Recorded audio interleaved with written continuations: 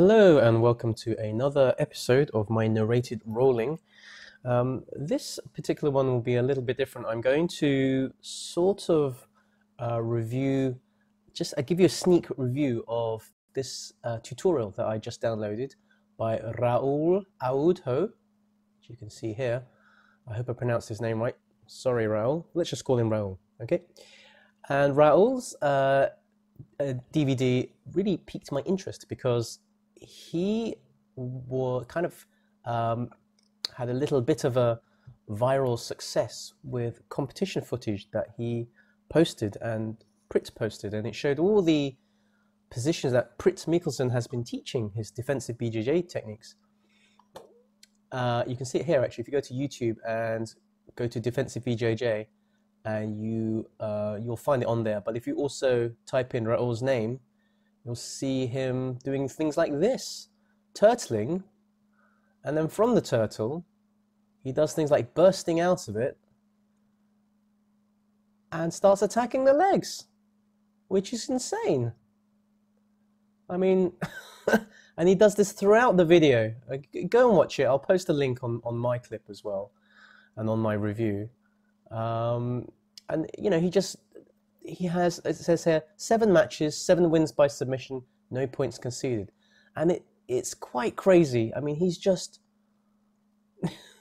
he's doing all these things like, tur- mainly turtling, but he does variations of turtles. Um, and it's not like these guys are, are nothing. These are advanced. This is the advanced division, I believe, at Grappling Industries. So you know they're all experienced grapplers, and he's look at him shuffling along. and uh, you know, I, as soon as I saw this clip, I thought I gotta learn me some of that shit. So anyway, uh, go onto YouTube, watch Raoul do this, and you and if you're a, a fan of Priit's defensive BJJ work, for me, this is the this is like the next stage. This is the next thing to do if you're if you're very well practiced with all his turtle, panda, hawking, all that sort of stuff.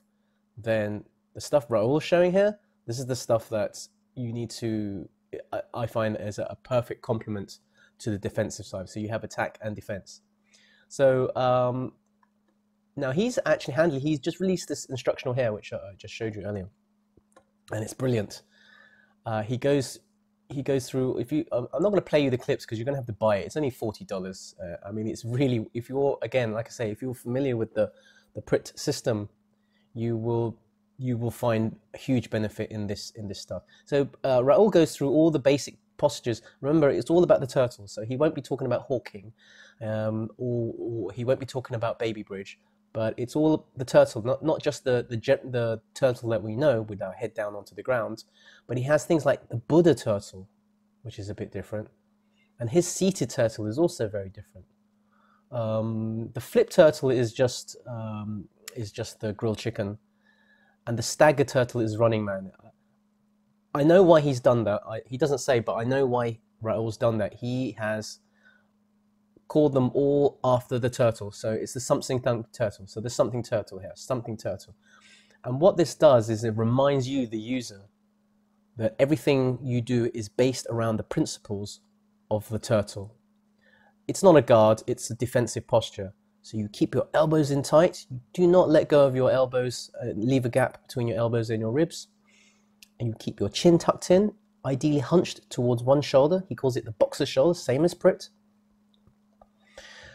and crucially, once you have that, uh, that those principles uh, into your system, you can then start looking for attacks. And this chapter here, chapter 13, is the key chapter for uh, understanding how to move from defense into attack. Um, I won't, as I say, I won't play. You're gonna have to watch it, but you can just see a sneak preview um, of him. Lean and let go. Okay, I'll, I'll turn the sound down. But um, essentially, what he does, it, it for an old geezer like me, these subtitles, I, I can't turn them off. And actually, they're very handy. I, I like that they have subtitles. It's almost like you're learning in two ways you're reading, you're hearing, and you're watching. So you can't really forget what he's doing here. Uh, anyway, go buy it, go have a look. As I say, if you're a fan of Priit's work, this is the perfect complement uh, to to your developing, growing arsenal. That being said, I watched the whole thing, all, all these techniques. I sort of drilled them at home, and I was so excited. I went straight to my friend's uh, basement dojo to see what I could try and use without any drilling, any uh, aforementioned practice. I just went in there with to try to remember as much as I can. And this is this is how I did on my first session. Okay, now that we've had uh, a look, little look at the inspiration for today's narrated footage, uh, I'm moving on to my actual narrated footage, and here I am with a roll with Jason, and uh, I'm trying to incorporate as many of Raoul's uh, tips on attacking from the turtle that I can into all the rolls that I'm doing. So we have about when we meet, we have uh, we have three minute rolls, um, and um, they last for uh, in the duration of an hour. So we try and get many rolls in as we can. Anyway, let's move on to. So the first thing I'm trying to do is look for the gap here between uh, his armpit and his uh, hip line. That's the thing that Raoul is very, very keen to stress in his videos. It's like the common theme. So here uh, you can see my legs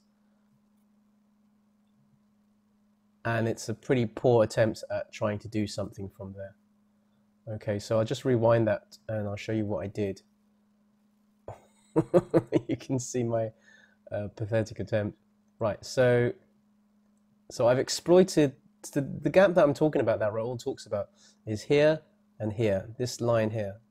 That's your attacking area. Once once your um, training partner or your opponent uh, um, takes their elbow away from their sides, and leaves a gap in this area here, then you can exploit it and you have to fill that gap with a part of your body. Now, um, there are several techniques and tactics that Raoul uses, but what he does uh, quite often throughout his series is to fill it by using this sort of, see what I'm doing? I'm wedging my shin here along this line here.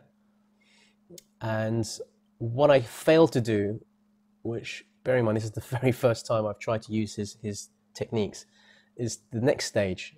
So it's, it's like a, a, a three-step process. The first step is you have to open the gap here. The next step is to insert the wedge, uh, which would be a part of your body. He uses his shoulder, he uses his shin, his foot, his arms, you know, whatever works, which I've done successfully here. And then the third stage would be to, not quite sweep, but you have to unbalance your opponent before you start attacking and I don't do that here.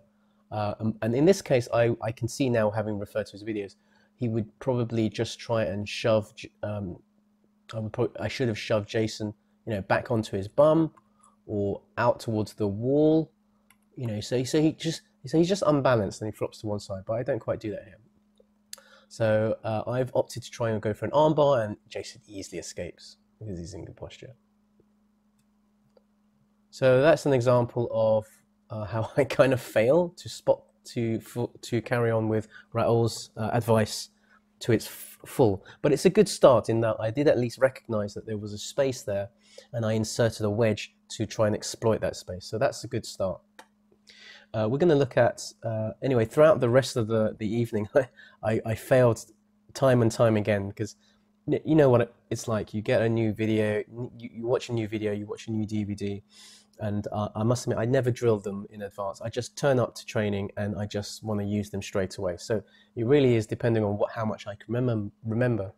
Luckily, Raoul explains these techniques very, very well. The actual principles are very simple, but trying to execute them is hard because you're looking for quite small opportunities and you're starting from a very defensive situation, which is the turtle or variations of the turtle. Anyway, I'm, I'm sort of waffling. Uh, let's look at another video where I'm a little bit more successful. Okay, so we're on to uh, a different roll, again with Jason. And um, this is much later in the evening where I think by then I've got a bit more confident with using some of Raoul's slightly unorthodox interpretations of Priit's defensive postures. And, and the one I'm using here is called Buddha Turtle. And this is where he sits kind of like a lotus position, but it's not quite a full lotus. But I found it pretty easy to do and, and really useful. Look, see what I'm doing there with my, my legs there? That's what Raoul does. And um, it's really weird because you'd think you'd be unstable, but once I put my head down to the ground, uh, it's actually quite fun to use and you, you can exploit a lot of openings from there. So here I am, Jason's putting his weight on, putting his pressure on me, and I switch to Running Man, which is some, and immediately I exploit the gap here. So uh, we'll look at that in a minute, but we'll watch the whole thing before I stop it and start it. So that was a nice sequence. I, I managed to unbalance him, um, create a wedge, unbalance him, and I'm trying to seek the attack. You can see, because Jason's foot there is wedged on my uh, leg there, I can't get it free, but normally I would attack for the leg, uh, Jason's leg. It's a nice little sequence. Um, so I'm trapped there for a little bit, but I've still got a wedge there.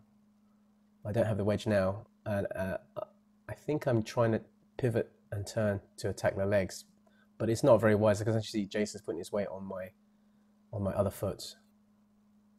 Here's another wedge. Here's a, here's an unbalanced full sweep, and I at least get up on top. So that's a nice sequence that's well worth looking again because I think it's one of the rare few examples in this evening's session where I managed to succeed at least with using most of what Raoul teaches in his tutorial. Uh, and let's have a look again. So, so the first stage is I used uh, Buddha Turtle. I love the name. And uh, Buddha Turtle is a great place for which to transition to other or another one of the defensive positions. And Raoul shows a whole series of drills where he where he um, uh, transitions to. Uh, quite popular one is transitioning to Running Man, which is what I do here. And from Running Man, I can just roll backwards. And by rolling backwards, I insert a wedge here, which opens up, the, as you can see, it opens up his, his gap between his uh, elbow and his hip line. And I've also underhooked his leg. So you know I'm going to go for a, a, leg attack. It's, it seems to be fashioning towards that way. And I keep the wedge there, but crucially, I've, I've unbalanced Jason. See how he's leaning backwards towards the wall. He's trying to correct his balance, but I, am kind of moving my base. Uh, rather annoyingly, Jason's got his, his shin hooked over my, my uh, right leg here, so I can't free it. My aim really is to attack this leg here. I, I want to get that as for a toe hold or a heel hook or, or something. But I need that, that right leg free. But, but it's, you know, it's not really worrying me what I need to do, what, what I then have in my head is to try and create a bit more of a pendulum action with this leg here to sweep. I now realize I need to unbalance Jason in order to exploit these gaps. I can't just go for it. Here we go. Here's the sweep. And I got out of trouble as well because you saw Jason's fashioning for some sort of foot attack there. And then we carry on pretty much like, like we normally do. I'm on top, he's on bottom, I have to pass his guard, um, and blah, blah. So in that respect, I think that was a nice example. We can look at one more. As I say, there are more videos. that was terrible. there are more uh, videos um, of our uh, sparring, but I'm not going to narrate those because I failed so badly to incorporate and to utilize Raoul's tips there.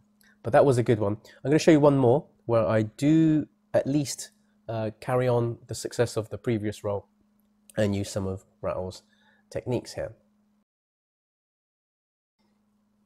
So we're on to uh, a roll here with, with my friend Gosha. And in this one, uh, I'm trying to, again, use some of the more unorthodox uh, positions, defensive BJJ positions that Raoul teaches in his video. Uh, we'll, start from here where I'm in turtle, head on the ground, fairly traditional. I say traditional, but it's it's fairly basic, fundamental turtle position. I probably, arguably, could do a bit better with with popping my elbow out and, and, and closing that hip line, but I don't feel I'm on the threat, so I'm a bit lazy there. Uh, I'm more concerned with grip fighting in this region here, as Gosha is trying to rip my head off and uh, I'm, I'm basically preventing her from doing that with my grip fight. So I kind of do a windshield wiper here, and then I, I think, yeah, that's it. I sit in this Buddha turtle position, and I'm quite surprised at my own flexibility here. partially aided by Gosha's weight on my uh, head, but I'm able to touch my forehead to the ground. I go to Running Man, back to Turtle. It's a nice little sequence here. And again, it's all defending. Um, this I'm trying to do. Uh, here we go. I'm trying to do uh, his uh, Raoul's uh, seated turtle, and he does things quite differently here. This is this is a, a Raoul speciality where he. I'll describe the position in a minute, but I, I didn't have too much success with it during the whole evening. This is the only time where I used it and I felt I was using it correctly. It takes a bit of getting used to. Uh, it's a bit of a strange one. Uh, and then we just progress to just regular leg entanglement, leg locks. So I will, I'm going to rewind back to the bit where I wanted to talk about where I used that. So let me try and describe what's happening here. This, this isn't anything. This is just seated there. It's when I put my hand behind me as a prop. It's very Ryan Hall in terms of the language used by Raoul. Well, we have to, I, I haven't done it great there, but what Raoul suggests is that you create this line along your shoulder, wherever the force is uh, being applied. I'll, I'll get my pen out. Whenever, you can see Gosha applying the force in this direction here, not just downwards, but uh, towards the camera, yeah? I need to place a prop in that direction here. So my hand should be here. Uh, as you can see, it's not, but I do correct myself in a minute. So when you've got shoulder, arm, hand here, you create a very strong structural platform.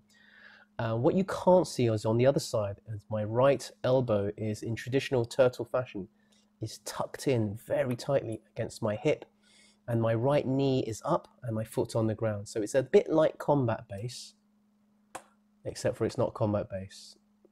It's, it's, it's like turtle, but I'm sitting down and I just happen to have one arm propped behind me to stop Gosha collapsing me. Here, and I'm, I, what I need to do is use that against her and really push against her, but I was a bit passive with it. So I collapsed. There you go. I collapsed and just reverted to I don't know what I was doing. Oh yes, I got a hook, so I was trying to get a leg lock.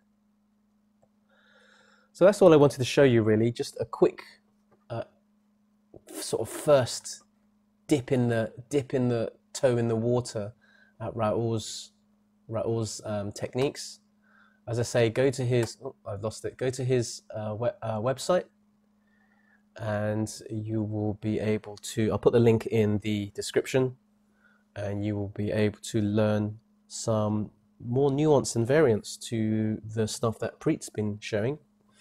I also recommend you check it out. Uh, I think I think it's all great, and I'm going to carry on using both Priit's side for the defensive stuff and Raoul's side to try and work my counter attacks and attacks. That's all for now. Anyway, thanks for watching, and catch you later. Bye bye.